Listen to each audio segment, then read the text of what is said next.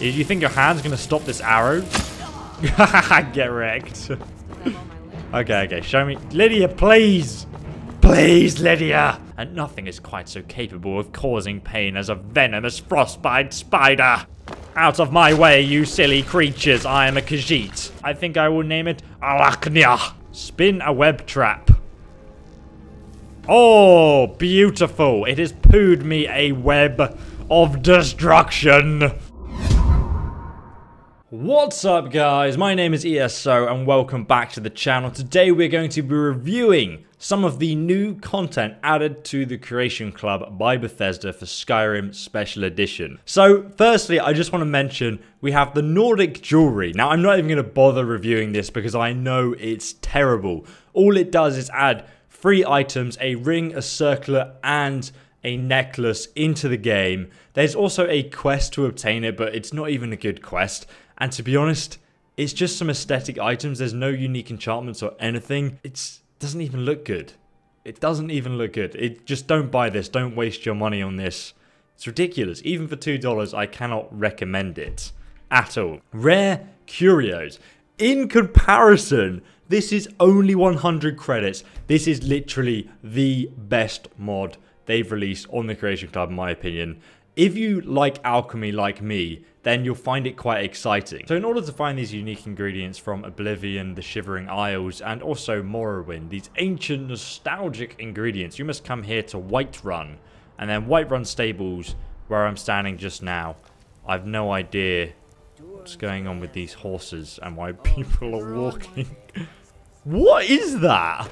What is that guy doing? Okay. So I'm here in Whiterun, uh, next to the stables, and you're going to find a Khajiit caravan just here. And you can talk to Ri'saad, and you can ask him what he's got for sale. There are many Khajiit caravans all over Skyrim, but I'm going to look at the ingredients. He's got a corkbulb root. I think this is from Morrowind. 83 gold. That's quite expensive. Now, he's only selling one ingredient right now, but what we can do is we can save the game like this. And if I punch him once, and then if I reload that save I just made, it actually resets his whole shop inventory. So you can repeatedly do that and literally farm all the unique ingredients out of him. I'll show you them all in a moment. But as you can see, look, now he's got a whole host of different ingredients. Some fruits. Wow, look how beautiful these retextures look. I mean, this is only literally $0.66 I think for 100 credit. It looks amazing like all these different ingredients that have been added to the game all retextured all redone. Heart of the Order from Jyggalag restores health. We can eat this and discover the new properties. Hunger Tongue from Morrowind. Like, they just look incredible, and so much effort has gone into this mod, and you can make some really cool new potions with them uh, and all their new effects and stuff. And I think it's really cool that they've done this. Obviously, you can only buy them from the Khajiit Caravan, so it takes a while to get all of them. But um, they've also added poison apples, Welkynd stones, which you remember from the Ayleid dungeon, so you can use them to restore magicka. And you can make, and as I said, the poisoned apples, which are always fun. They they basically do the same damage as just a normal poison potion. So it doesn't really make that much difference. It's more just for nostalgic reasons that they've been added. It's still pretty fun that you can use them, but that's basically it. You know, obviously if you're not into alchemy, this thing won't be very useful to you. But, um, you know, you can just buy them. You can eat absolutely everything and see, you know, what happens to you. Maybe we die, I don't know. Let's find out. I have digested thousands of ingredients apart from the vampire dust. My screen is literally black. Let's see what happens. Oh my god, am I dead? I'm invisible. Holy crap. I just got paralyzed temporarily. My screen is blue. Well, I'm suppose you can have some fun with these ingredients. It's literally so cheap to buy them. It's one of the most valuable things I've seen in the Creation Club like you know in terms of effort to value that the amount of effort that's taken for this person to create i'm impressed. I think that's really good. So the next thing we're going to look at is the pets of skyrim. Check the notices at the bannered mare. So the bannered mare is here in whiterun of course. Let's head on inside and check out these notices to see how good these pets of skyrim really are so here we are we've added a note to the game just here For sale, one tamed mountain goat able to carry a hefty amount of weight to the throat of the world and back again gives good milk. If interested in purchasing, see Halvir in Rorikstead. So Rorikstead is located just here on the map. And if you guys have not seen my lore video on Rorikstead, oh my god, you need to watch it. There is a secret Daedric cult in this village. I'm telling you, I made a massive theory video about it. And uh, you guys will definitely find it interesting. I'll link it down below in the description. Oh, for goodness sake, there's a bloody dragon. Right, okay, the dragon's dead. Let's go and speak to my man. Can I buy your goat? Of course. Here's my offer, 200 gold. Okay, I've got to pay for it. I've got to pay for it with real money and in-game. For that price, Oh, it's Hilda the goat from never would have from the quest with the drinking quest. The Daedric quest, oh my god. It, we've actually brought Hilda the goat. That's amazing. Here is Hilda the goat. Look at it. It's beautiful. Hey there, buddy. Want to come with me? Ah, you're a good goat, aren't you, Hilda? So, this is actually quite a useful companion. It does absolutely nothing in combat other than look cute and get... It really annoys me, actually. It keeps on getting in the way and it will never move out of the way. It will just sit there. So it always blocks doorways and that's really... It really fucking triggers me, to be honest. You shall not pass! But one really good thing you can do, you can say, hey, I need you to carry something. And then he'll be like, "Meh." and then you can um, obviously give him, you know, all that armor you've been carrying around, like this necklace and stuff after you've explored a dungeon. And after you've given him everything you want to carry, or you can say, wait for me at home, or you can say, wait for me in the city. And then I can say, okay, I want to go and sell my stuff in Markarth, and I'm going to send you there. And then Hilda will venture off very slowly into the wilderness to take your goods there, and you can meet her outside the city and go and sell everything without being over encumbered. So that is pretty useful. Oh my god, there are some wolves here! They are trying to hunt my pet goat, Hilda. We must defend her. Get wrecked. You looking at me, mate? Get wrecked. Nobody touches my goat. Not even me. Or Lydia. Lydia, you can touch my goat. You can touch whatever you want. Okay, let's look at the next quest. Let's have a little read here. Came into the town a few days ago looking for work. The folk here are nice enough and there's plenty of wheat and potatoes needing to be harvested. So, I've got a steady supply of coin coming in. I don't think I'm going to need my old pack goat Hilda for much longer. All my bones are starting to crack and my adventuring days are long over. Now I just need to find someone willing to take care of her. Maybe get a few coins for her too. There's strength in those old bones of hers yet. Ah, now I'm going to miss wandering the wilds of Skyrim. I saw so many strange and wonderful things out there. Pine trees as tall as mountains, old Nord tombs. I even once stumbled across a wandering spirit made of pure ice. Even ran across a few folk trying their hand at taming different types of creatures. Don't know why they'd want anything but a loyal dog or a trusty goat like my Hilda though. Some of them beasts out in the wild just aren't meant to be tamed. Ran across an alchemist with a pet rabbit and almost got robbed by a thief with a tame fox. But I suppose a rabbit or a fox could be docile enough. But that pickpocket trying to train a skeever must have been as mad as old Sheo. And I don't want to think too hard about the vampire. Could have sworn it had a trained frostbite spider. Giving me the shivers just thinking about it. So he's just told us about all the other pets in Skyrim we can get in a lore-friendly way. And now they've all appeared on our map for the taking. So here I am in Riften, and apparently the tame skeever is down in the Rataways. So let's go down into the Riften Thieves Guild, I guess, and try and find this tame skeever. So I was exploring the Rataways, and we came across the skeever. Find a key to the skeever's cage. Ah, some skooma. Oh, it's empty. Damn it. Oh, there's a dead body here. Okay. This must be the previous owner. So I've got the key now. He's got 25 gold and he's got a pickpocket's journal. I ain't been having no luck at lifting gold off them rich merchants at the market. And those Thieves Guild wits don't want me. Said I'm too clumsy, I'm running out of food in skooma, and I need to start killing some of these skeevers down here for meat. One of those skooma dealers at the docks told me he knew a guy from Morrowind who trained a mix of hounds to distract his marks. Helped him steal a heaping pile of gold, he said. Don't know if I believe a word of it, but what else am I gonna do? I might as well give it a try. Too bad there ain't any Nix hounds around here. Plenty of skeevers though. I'm gonna need to catch some anyway for food. Might as well have a go at training one first. Oh my god, how retarded is this guy? Okay, so we go further into the vaults and we find the skeever's cage. Oh yes, you beautiful creature. Come with me. So obviously the skeever will follow you, but also you can tell it to go and find food. And it will. And look, it's found some food. Some dog meat and rabbit legs. And then I can say, okay, come with me again, and we can take him off on another adventure.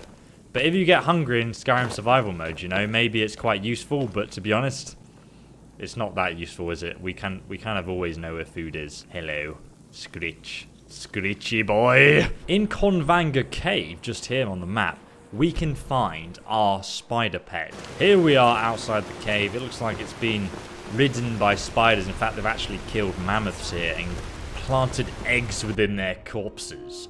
Out of my way, you silly creatures. I am a Khajiit. Get out of here. I will kill all of you.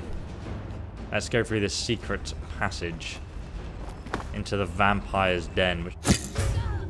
Hello there. Why are they on the table? What the? Look out, Lydia. It's a vampire. Look out, Lydia. It's a naturalist vampire. What does that even mean? Is she like completely natural? Oh, I'm okay. Well done, Lydia. You've killed her. You've saved us both. Oh, you see what I mean? The skeever just blocks my way. It's so annoying. Do you think your hand's gonna stop this arrow? Get wrecked. okay, okay. Show me. Lydia, please. Please, Lydia. Damn it, woman. Thank you. On the Vampire Naturalist, we find the Spider Cage Key, and we also get the Journal, so we can see why this guy is crazy. While my siblings may be obsessed with the taste that fear imbues in the blood of mortals, I find that pain leads to a much more potent sweetness, and nothing is quite so capable of causing pain as a venomous frostbite spider. But alas, the unusual method of harvesting frostbite venom involves killing the spider, a costly and dangerous venture. Far too little venom can be obtained through violent methods for the experiments I wish to conduct. To that end, I have captured a frostbite spider from the deeper cave so that I may regularly collect its venom, which seems to be unusually potent as I discover that it appears to have some measure of intelligence, and I have been attempting to teach it to obey certain orders. Oh, how delicious it would be to have a tame spider entangle my prey on command. I think I will name it Arachnia. Claim our frostbite spider. You are now mine. Give me. Look how beautiful he is. Spin a web trap.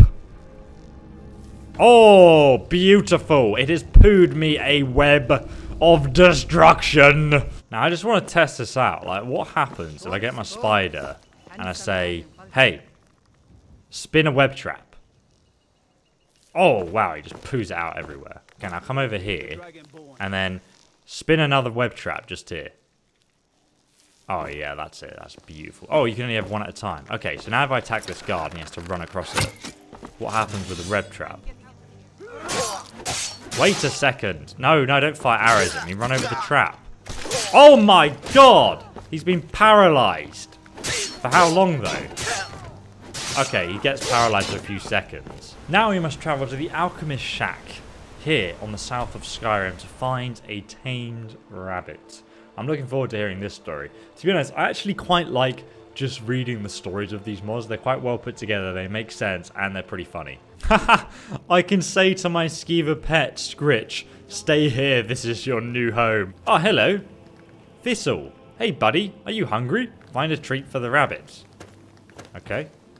Ah, there's a note here. Notes on rabbits. The rabbits here seem particularly adept at sniffing out potion ingredients. I recently found one nibbling at my thistle plant and managed to capture it. It's my hope that I'll be able to train it to lead me to the most bountiful flora. 22nd of second seed. The rabbit which I've decided to name Thistle in honor of the carefully cultivated plants it managed to destroy is showing great promise. It has proven to be quite tame and even rather intelligent. Getting it to respond to commands, however, can be a bit of a trial.